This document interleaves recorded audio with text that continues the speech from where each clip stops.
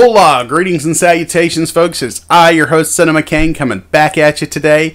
Today we are talking Twisters. Is it a sequel? Is it a requel? Is it a reboot? Well, it's something. First of all, let me get this out of the way.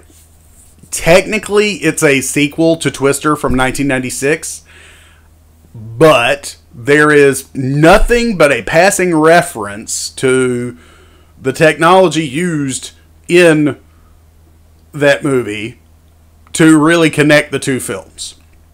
Twisters is very much its own thing within that same universe, for lack of a better word. It's a great flick. I thoroughly enjoyed it. The performances are stellar all around. The cinematography is great. The the I'm sure that they were able to achieve those weather elements and things much easier with today's digital technology than they were in the mid 90s. But it was just such a fun flick. The idea of the arrogant rogue tornado wrangler versus the person who is in it just for the pure love of the science and wanting to try and protect people. And then as they have this, you know, will they, won't they thing throughout the film, we discover more and more that they have more in common than they realize. And it's this beautiful chemistry of two opposites attracting. And I thoroughly enjoyed the movie overall. It's just such a fun movie theater popcorn movie.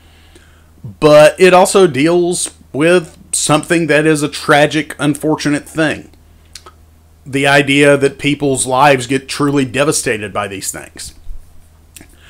I absolutely loved Twisters and can't say enough good things about it. If you enjoyed the 96 film, odds are you'll enjoy this film. So, I've been your host, Cinema Kane, and I hope you enjoyed this brief review of Twisters. If you did, don't forget to click like, don't forget to subscribe, don't forget to click that bell notification so you know every time Cinema Kane has a new video uploaded. And don't forget to share this on all your social medias in an effort to help me grow my channel. And I'll see you next time at the video store.